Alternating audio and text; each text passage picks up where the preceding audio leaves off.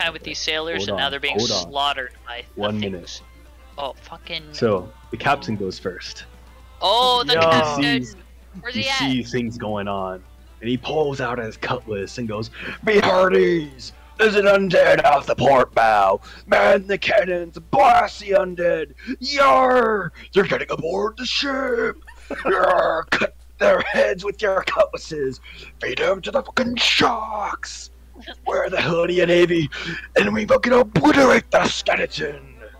We're the Empire's Marines, and we chew through skeleton brains like it's a block of wood! And he runs